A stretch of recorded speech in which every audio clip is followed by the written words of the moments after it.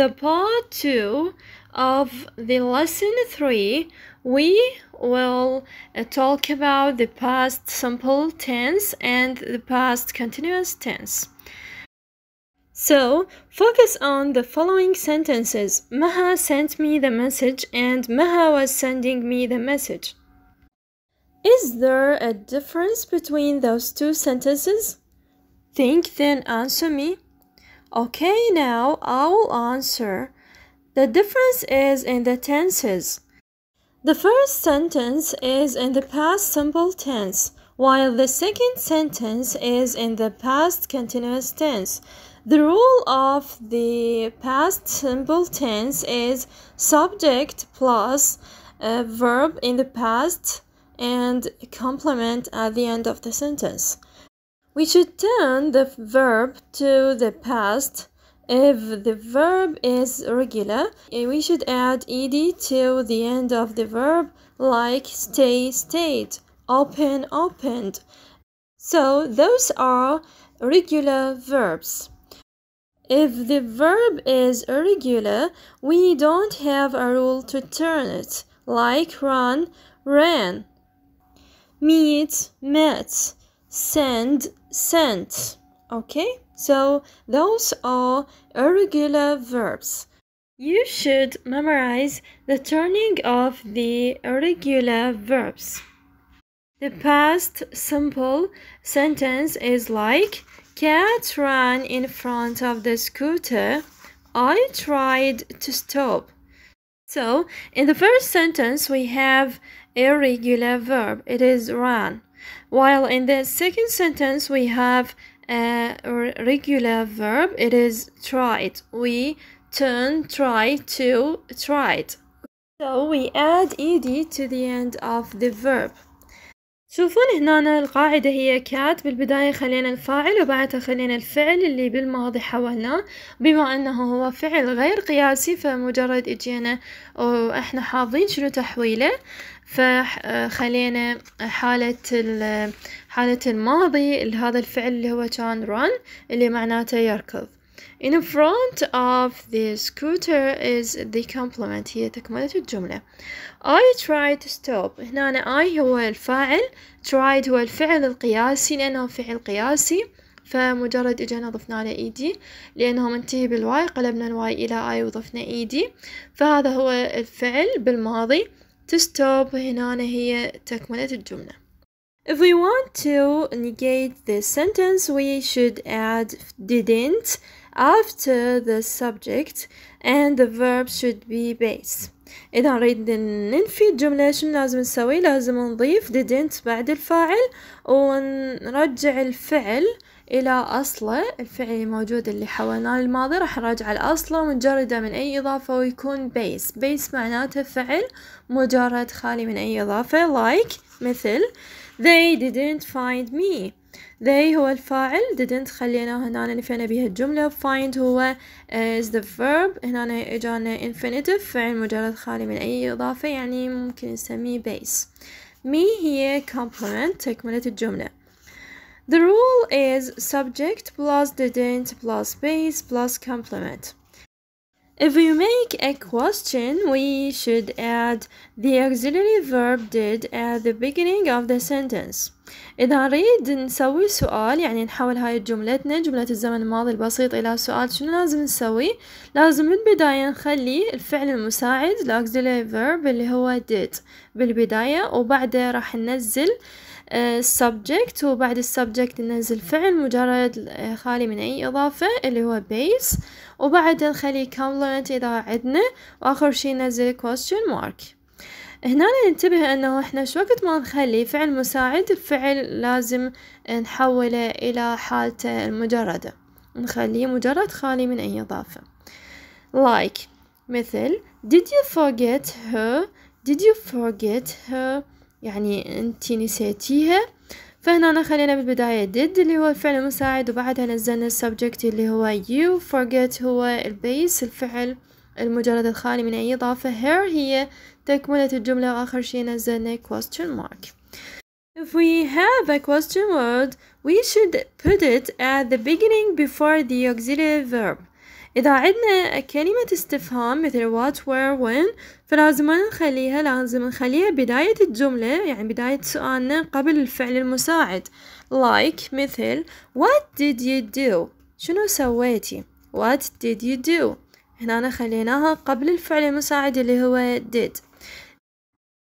The adverbs of time that we use with the past simple tense are ظروف الوقت اللي نستخدمها ويا هذا الزمن هي yesterday yesterday اللي معناتها أمس last plus time يعني أي last وياها وقت like last week last summer فهي شنو ظرف يخص الزمن الماضي البسيط time plus ago أي وقت ويا كلمة ago معناتها مضى like three weeks ago. منذ ثلاث أسابيع مضت. Uh, and like four hours ago. منذ أربع ساعات مضت. فهنا راح نستخدم الزمن الماضي البسيط. In uh, and past time. Like in 2003 هنا مدام سنة هي مضت فلازم نستخدم وياها الزمن الماضي البسيط. We have a second rule for the past simple tense. عندنا قاعدة ثانية للزمن الماضي البسيط. It is subject plus was for singular and I and were for plural plus noun يعني اسم uh, or adjective صفة or adverb of place أو ظرف مكان. فيعني نخلي بالبداية فاعل نخلي بعده was or were حسب الفاعل وبعدها راح ننزل noun adjective or adverb of place. اسم صفة أو ظرف مكان. Like he was a driver. He was a driver. هنا خلينا he خلينا لها was. ليش؟ لأنه عندنا الفاعل مفرد هو he. A driver هو اسم مهنة. فخلينا بعد was. And like my mom was bossy. My mom was bossy. هنا my mom it is the subject we put was because we have a singular subject يعني bossy is the adjective متسلط معناتها قلنا we were in the garden we were in the garden هنا we هي subject الفاعل were we put were because we have a plural noun it is um, we plural subject in the garden هي ظرف المكان بالحديقة معناته the road was wet the road was wet هنا the subject is singular it is the road الشارع خلينا was because we have a singular uh, subject the adjective wet معناتها رطب فهي هنا صفة when we negate the sentence لما نريد ننفي الجملة we just add not to the verbs was and were إذا نريد ننفي الجملة مجرد نضيف not المن للwas والwere So the rule is subject plus was or were plus not plus noun or adjective or adverb. We can abbreviate نقدر نختصر was plus not to wasn't were blast not to weren't. Like the man was not in the street. The man was not in the street. Now the man is the subject and was not. Uh, not is the negative.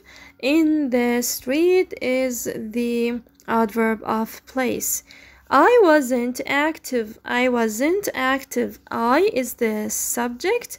Was uh, plus not we abbreviate it uh, active is the adjective to make question حتى نسوي سؤال we should bring the verbs was and were to the beginning لازم نقدم ال was و were بداية السؤال was or were plus subject plus noun or adjective or adverb of place plus uh, we put the question mark at the end of the sentence were you in the class were you in the class were is the auxiliary verb and you we put you were because we have the subject you in the class is the adverb of place بالصف هذا هو ظرف المكان and at the end we put the question mark was Wissam a writer was Wissam a writer هنا we put was because we have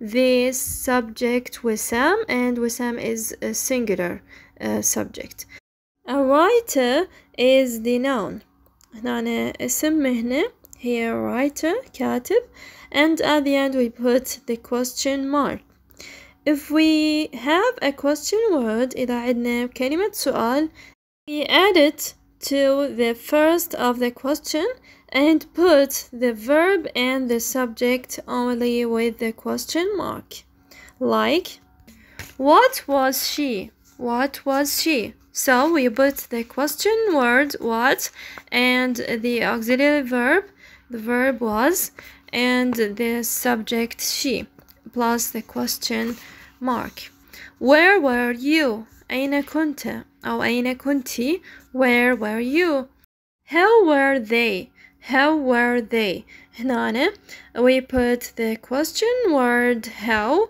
plus the verb were plus the subject they and at the end we put the question mark while the rule of the past continuous tense is subject plus was or were plus verb plus ing يعني انتبه هنا انه الفعل من الخلي لازم نضيف له ing like Maha was sending me the message. Maha was sending me the message. Maha is the subject while was is the verb.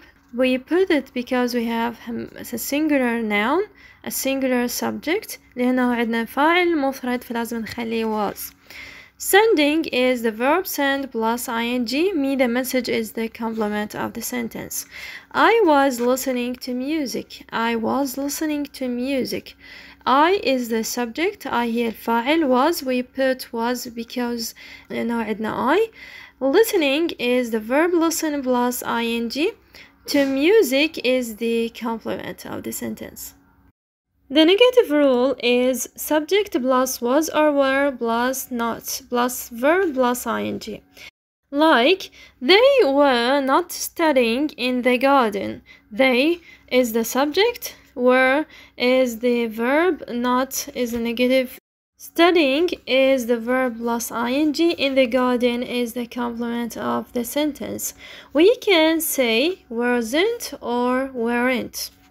The question rule is was or were plus subject plus verb plus ing and at the end we put the question mark like were you speaking were you speaking what were you speaking what were you speaking هنا بالجملة الأولى استخدمنا يعني قاعدتنا للسؤال بينما بالجملة الثانية استخدمنا question word دخلناها على الجملة اللي هي what So, what is the difference between the past simple tense and the past continuous tense?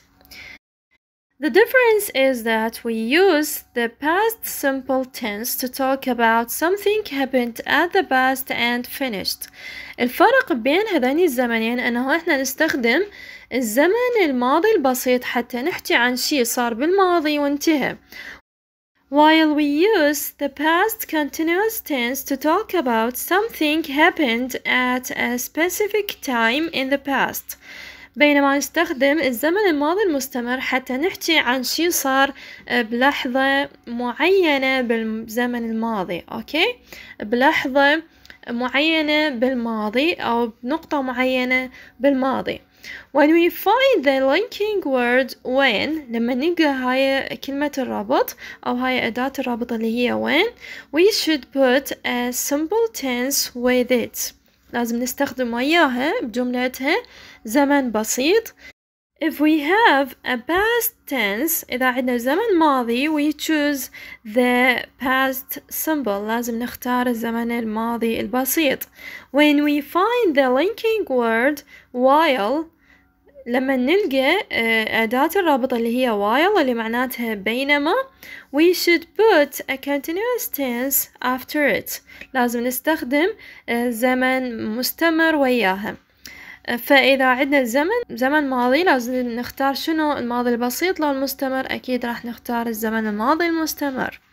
Like when the phone rang I was having a shower. هنا جاي تشوفون أنه أداة الربط وين؟ ربطت لنا بين جملتين الجملة الأولى اللي وياها إجتني بالزمن الماضي البسيط بينما الجملة الثانية راح تكون بالزمن الماضي المستمر.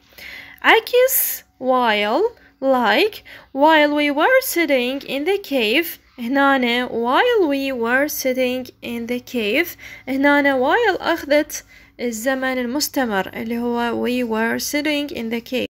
لأنه while تربط لنا بين جملتين فالجملة اللي تجي ويا while لازم تكون مستمرة زمنها مستمر فإذا هنا عندنا ماضي تاخذ الماضي المستمر. بينما الجملة الثانية اللي ربطتها while راح تكون بالزمن البسيط.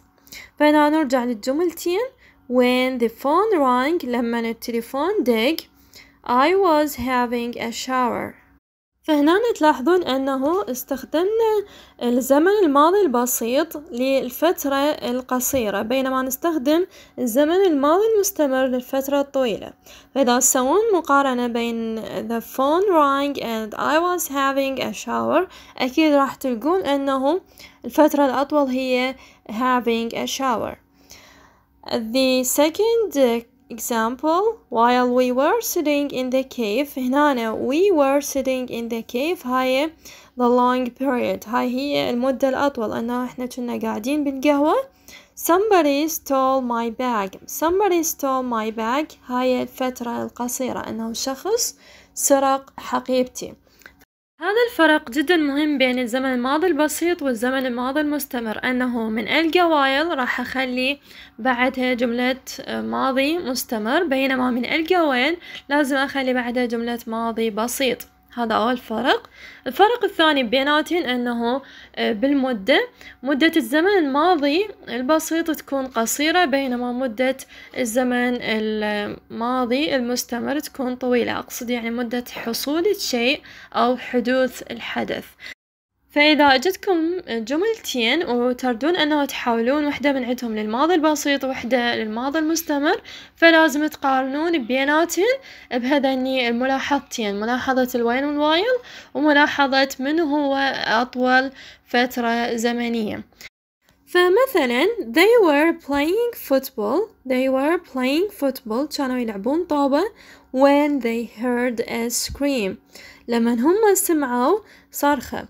فهنا إذا نسوي مقارنة بين هذين الزمنين بين هذين الحدثين راح نشوف أنه الحدث الأطول هو لعبهم لكرة القدم. بينما الحدث القصير اللي صار بسرعة من سمعوا الصرخة. أوكي؟ فبهاي الطريقة راح تقارنون بالمعنى بين الحدثين حتى تكتشفون يا حدث لازم تخلوه بالزمن الماضي المستمر ويا حدث لازم تخلوه بالزمن الماضي البسيط. And thank you for your listening.